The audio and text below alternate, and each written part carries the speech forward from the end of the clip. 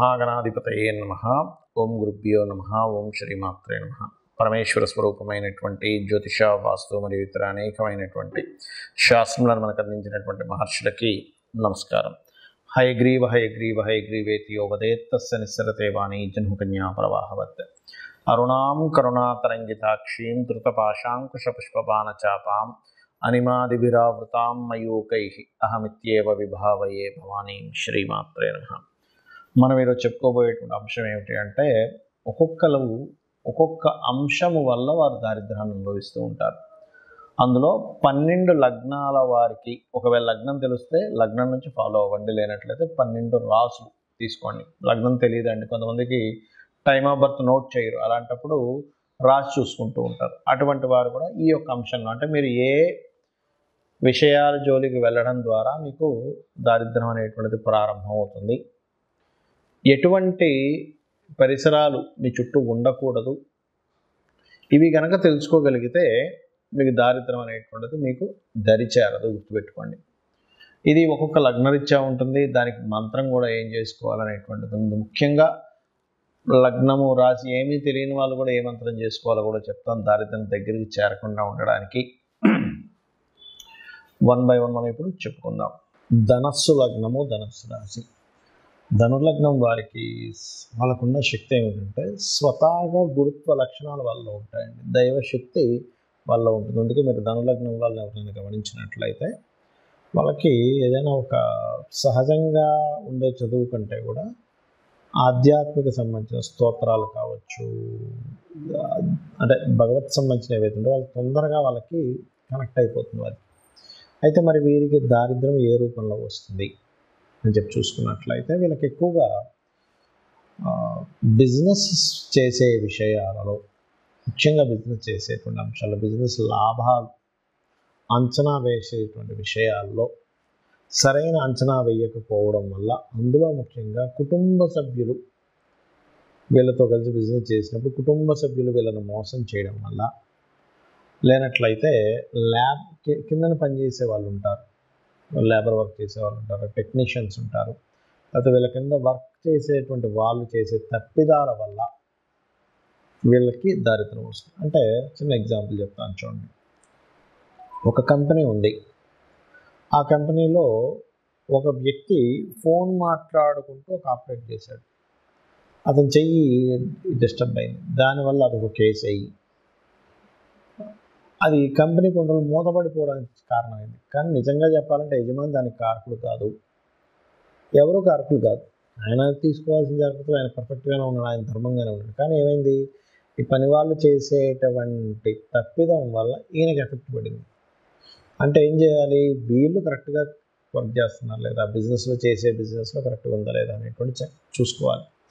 అలాగే financial matters ఏవైతే ఉంటాయో కొంతమంది ఏం చేస్తారంటే లాభం వచ్చే అంచనాను ఎక్కువగా వేసేసుకుంటారు. ఇంత వచ్చేస్తుందని ఎప్పుడైతే మీ మైండ్లో ఎక్కువ వస్తుంది లాభం అని అంచనా వేస్తారో పెట్టే ఖర్చు విషయంలో కంట్రోల్ అనేది తగ్గిపోతుంది ఈ పెట్టే ఖర్చు విషయంలో ఎప్పుడైతే కంట్రోల్ తప్పిందో బిజినెస్ ఇన్బ్యాలెన్స్ అయిపోతుంది. అంటే ఖర్చు ఏమి ఎక్కువైపోతుంది వచ్చే ఆదాయం తగ్గిపోతుంది. ఇది మెయిన్గా మీకు దారిద్రానికి కారణం అవుతుంది అలాగే ఎంజాయ్మెంట్స్లోకి ఎక్కువగా వెళ్ళడం వల్ల దారిద్రం అనుభవిస్తారు ధనులగ్నం వల్ల. అంటే ఏమిటి? చిన్నతనం నుంచి తీసుకుందాం. చిన్నపిల్లలు ఎక్కువ ఫోన్స్ మీద అలవాటు పడడం వల్ల వీళ్ళు కాన్సన్ట్రేషన్ చేయలేకపోవడము ఒక యువకులు అయితే కాస్త ఫ్రెండ్షిప్స్లో రకరకాల ఫ్రెండ్షిప్స్ ఎంజాయ్ చేసేటువంటి అంటే ఏమిటి? సిగరెట్ అనో లేకపోతే మందను ఇట్లాంటి వాటికి అలవాటు పడడం వల్ల వీళ్ళకి తర్వాత తర్వాత లైఫ్లో ఇబ్బంది రావడము. అలాగే మరొకటి ఏంటంటే ఇక్కడ కుటుంబ సభ్యులు ఎవరైతే ఉన్నారో వీళ్ళని సరిగ్గా గైడ్ చేసే వాళ్ళు లేకపోవడం వల్ల కూడా ఒక్కోసారి కుటుంబ సభ్యుల వల్ల కూడా వీళ్ళకి వస్తుంటుంది ఒక్కోసారి. అంటే ఒక్కోసారి జీవిత భాగస్వామి వస్తుంది. ఆ రూట్లో ఎందుకంటే ధనులగ్నానికి సహజంగా షష్టమాధిపతి శుక్రుడు అవుతాడు. కాబట్టి వివాహం చేసుకోవడం వల్ల వీళ్ళకి ఇబ్బంది రావడం కానీ ఇట్లాంటివి ఎక్కువగా వీళ్ళని రూల్ చేస్తూ ఉంటాయి.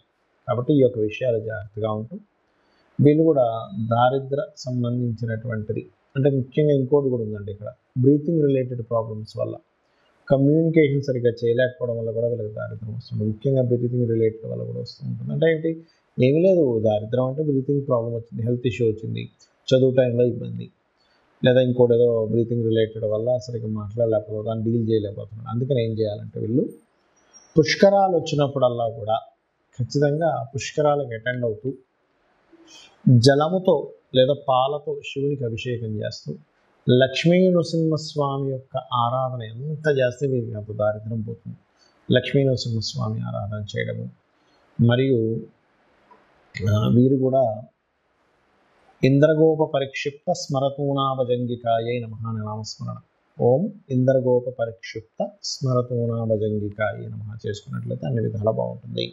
సహజంగా అందరూ నన్ను అడుగుతుంది ఏంటంటే ఏమంటే సహజంగా దారిద్ర దేవత రాకుండా ఉండాలంటే ఎటువంటి జాగ్రత్తలు తీసుకోవాలని అడుగుతున్నారు దానికి చెప్తానండి ఒకటి గుర్తుపెట్టుకోండి ఇంట్లో గనక సూర్యోదయం అయిన తర్వాత కూడా ఎక్కడ పక్కలెత్తకుండా నిద్రపోతూ ఉంటా- ఉన్నట్లయితే దారిద్ర దేవత ఖచ్చితంగా ఇంట్లో ఎంటర్ అవుతుంది. అంటే మీరు అనుకోవచ్చామండి మా ఇంటి పక్కన పెద్ద బంగ్లా ఉంది ఆ ఇంట్లో పిల్లలు అయితే అసలు పెద్ద పెద్దాక ఇంట్లో ఎవరు అసలు ఇచ్చేరైనా బాగానే ఉందంటే ఒకటే గుర్తుపెట్టుకోండి.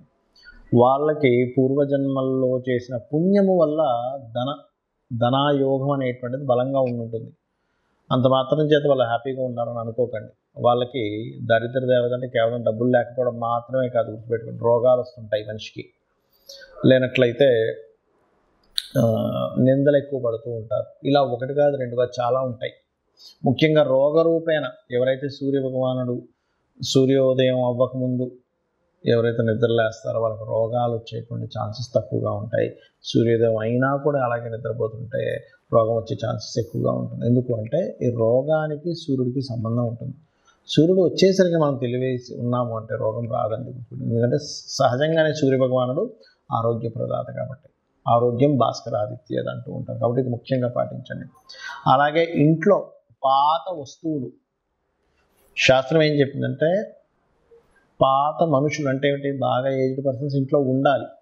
ఎందుకంటే వాళ్ళ సూచనలు వాళ్ళ అనుభవాల ద్వారా మనం రక్షింపబడతాం కానీ విరిగిపోయినవి పాడైపోయిన వస్తువులు ఇంట్లో ఉండకూడదని చెప్పింది. అవి ఎంత ఎక్కువగా ఉంటాయి ఇంట్లో? పనికిరాని వస్తువులు అంత దారిద్ర్యం పెరుగుతూ ఉంటుంది. ఇంట్లో బూజు ఎక్కువ పట్టడము పాత గోళ్ళగా ఉండడము ఇల్లంతా మట్టి కట్టుకుపోయినట్టుగా పాతగా అయిపోవడం ఇది కూడా దరిద్రానికి సంకేతం. ఇంట్లో చినిగిపోయిన వస్త్రాలు ఉన్నట్లయితే ఇప్పుడు ఒకటండి. ధనం లేదు బాగా పేదరికం అనుభవిస్తున్నారు. చినిగిన వస్త్రం వేసుకోవడమే అతనికి ఇంకా గత్యంతరం మరొకటి లేదన్న వాళ్ళకి మనం ఏం చేయలేము కానీ కొంతమంది ఏం చేస్తారంటే తెలియక చినిగిన వస్త్రం ధరిస్తారు. ఆ ఏం కాదులే డబ్బులు ఉన్నా కూడా కొంతమంది అటువంటివి ధరిస్తే దారిద్ర దేవత వస్తుందని చెప్తుంది శాస్త్రం. ఎందుకు అంటే చెప్తాను చూడండి. చిన్న లాజిక్ ఇక్కడ ఏం లేదు. చినిగిన వస్త్రం వేసుకుని ఎక్కడికి వెళ్ళాను చూశాడు. మన మీద అంచనా వల్ల ఆ వ్యక్తికి చినిగిన వస్త్రాలు వేసుకున్నా అంటే ఈ వ్యక్తి దగ్గర ఏమీ లేదేమో. చాలా దారిద్రంలో ఉన్నాడేమో. ఈయనకి పెద్దగా మనం మర్యాద ఇవ్వవలసిన పని లేదు అనుకునే వాళ్ళు కూడా ఉన్నారు. అందరూ అలా ఉన్నారని నేను చెప్పట్లేదు. కాబట్టి ఆ యొక్క విషయంలో వస్త్రం చాలా జాగ్రత్తగా ఉండాలి. వస్త్రం చాలా మంచి వస్త్రం వేసుకోవాలని మనకు శాస్త్రాలు చెప్తున్నాయి. అలాగే మరొకటి ఏంటంటే ఇక్కడ మీకు లగ్నం తెలియదు రాశి తెలియదు కానీ దరిద్రం రాకూడదు. కొన్ని కొన్నిసార్లు ఏమవుతుందంటే దారిద్ర భావము అని ఉంటుంది జ్యోతిషాస్త్రంలో మూడవ స్థానాన్ని దారిద్ర భావము అంటారు. ఆ మూడవ అధిపతి గనక మీకు లగ్న సంబంధాలు ఏర్పడినప్పుడు ఎప్పుడు ఏదో ఒక పెయిన్ ఏదో ఒక దారిద్రం మీ వెంట పడుతూనే ఉంటుంది వెంట పడుతూనే ఉంటుంది.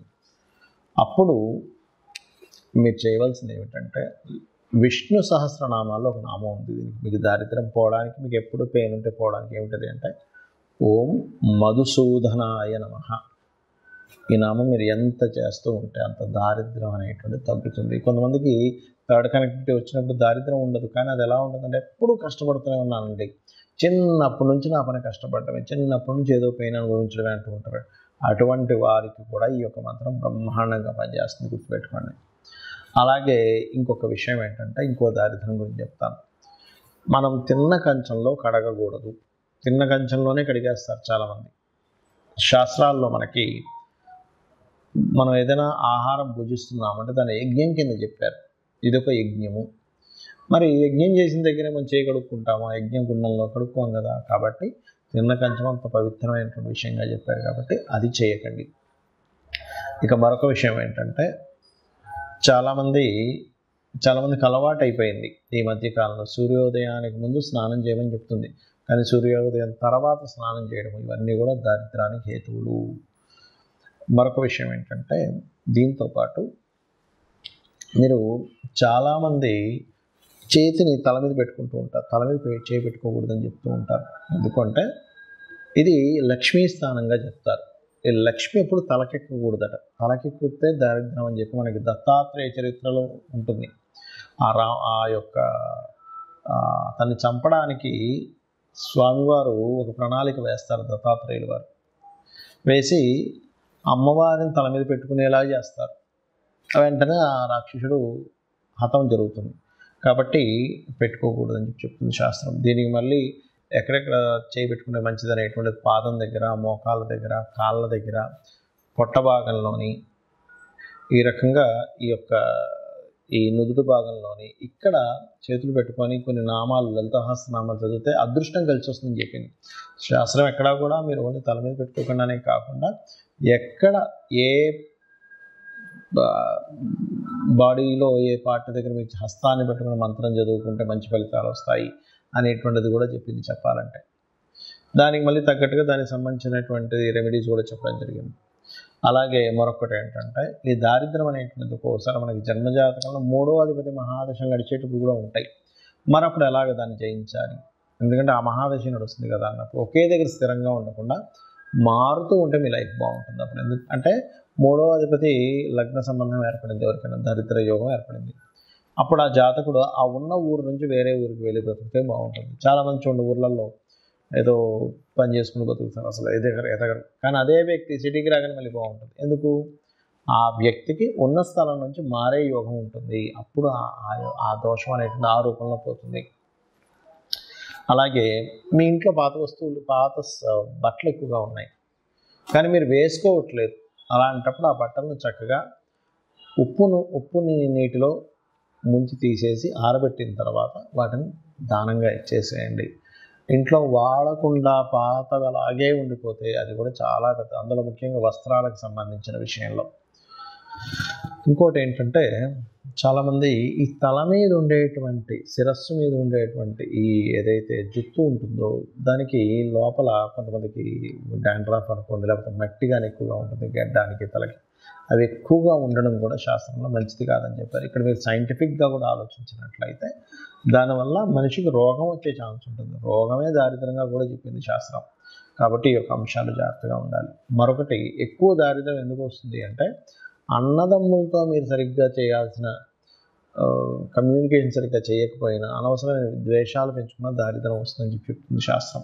అంటే అన్నదమ్ములతో అక్క చెల్లెలతోని చిన్న చిన్న విషయాలు పట్టుకొని వాటిని ద్వేషంగా మార్చుకొని వాటిని మిస్అండర్స్టాండింగ్గా చేసుకుంటే ఎందుకంటే థర్డ్ హౌస్ ఇస్ దారిద్ర స్థానం. మూడో స్థానాన్ని దారిద్రము పరాక్రమము పౌరుషము ధైర్యం ఇవన్నీ చెప్పారు. అందులో దారిద్రం కూడా ఉంటుంది. మీరు ఇక్కడ ఎక్కడైతే ఎప్పుడైతే మీరు ఇది చేస్తుంటారు అదొకటి. ఇంకా అన్నిటికంటే గొప్ప చెప్తాను చూడండి. మీరు గాసిప్స్ కనుక వాళ్ళు అలాగంట వీళ్ళు ఇలాగంట అని ఎంత ఎంతైతే మీరు చెప్పుకుని ఉంటారో అదే మెయిన్ ముఖ్యంగా దారిద్రానికి హేతువుగా శాస్త్రాల్లో చెప్పబడింది. దానికి మరి ఏమిటండి పరిష్కారము? అంటే మధుకైట బుల వధ అని ఉంటుంది శాస్త్రంలో. మనకి మీరు వినే ఉంటారు. విష్ణువు యొక్క చెవులో నుంచి వస్తారు మధుకైటబులు అని అంటారు. అతను బ్రహ్మని మాతను పోట్లాడు లేకపోతే మేము నువ్వు మా చేతిలో చచ్చిపోతావు. సంథింగ్ అట్లాంటి భయపెట్టేసరికి ఆ బ్రహ్మ వెళ్ళి విష్ణుమూర్తిని ప్రార్థించడం జరుగుతుంది. అప్పుడు విష్ణుమూర్తి నిద్రలో ఉన్నట్టుగా ఉండగానే ఆ నిద్రకి ఎవరైతే కారకులో ఆ అమ్మవారిని ప్రార్థించడం జరుగుతుంది. అప్పుడు ఆ మధుకైటకుని సంహరించడానికి ఆ యొక్క మహావిష్ణువు నిద్ర లేచి వాళ్ళిద్దరితో యుద్ధం చేస్తాడు. కానీ ఎంత యుద్ధం చేసినా వాళ్ళు చనిపోరు. అప్పుడు వాళ్ళు ఏం చేస్తారంటే కాసేపు రెస్ట్ తీసుకుంటా అన్నప్పుడు ఈ అమ్మవారిని అడుగుతాడు మహావిష్ణువు. తల్లి నేను ఎంత సంహరించినా వీళ్ళు చావట్లేదు. మరి ఎలాగా అంటే ఒక ఉపాయం ఇస్తుంది. అమ్మవారు ఏమిటి ఆ ఉపాయం అంటే ఇతనే వరం ఇస్తా అంటాడు మధుకైటప్పుడు విష్ణువు నేను మీకు మీతో ఎన్ని సంవత్సరాలు వెయ్యి సంవత్సరాలు యుద్ధం చేసిన అయినా సరే మీరు చాలా బాగా యుద్ధం చేశారు. కాబట్టి నేను మీకు వరం ఇస్తున్నాను తీసుకోండి అంటే వాళ్ళ మతం ఉంటుంది కదా. ఏంటి? నువ్వు మాకు ఇచ్చేది ఏంటి వరం? నేనే మీకు వరం ఇస్తున్నా అంటాడు. ఆ మహావిష్ణువుకి వీళ్ళిద్దరు అన్నప్పుడు అప్పుడు ఆ మహావిష్ణువు ఏం చేస్తారంటే సరే మీరు మీరు మాట తప్పకూడదంటే సరే మాట తప్పమంటారు. మీరిద్దరూ నా చేతిలో చనిపోవాలని మహావిష్ణువు కోరుకుంటాడు. అప్పుడు వాళ్ళు ఏం చేస్తారంటే ఓహో అలాగా అయితే చనిపోతాం కానీ నీరు లేని ప్రదేశంలో మమ్మల్ని చంపాలి అంటారు. కానీ అది మొత్తం నీరే. నీటి మధ్యలో ఇతను శేషపాను పైన ఉంటూ ఆ యొక్క పద్మం నుంచి వచ్చినటువంటి బ్రహ్మగారిని చంపుదాం అనుకున్నారు కదా వీళ్ళు. సరైనప్పుడు ఏం చేస్తారు అలాగే అని ఇతని శరీరాన్ని పెద్దగా పెంచి అతని తొడల మీద వేసి ఇతన్ని చంపేస్తారు ఇది మధుకైటబుల వధ ఎవరైతే వింటారో వాళ్ళకి కూడా దారిద్ర నాశనం జరుగుతుంది అని చెప్పి శాస్త్రవచనం. శ్రీమాత్రే నమ.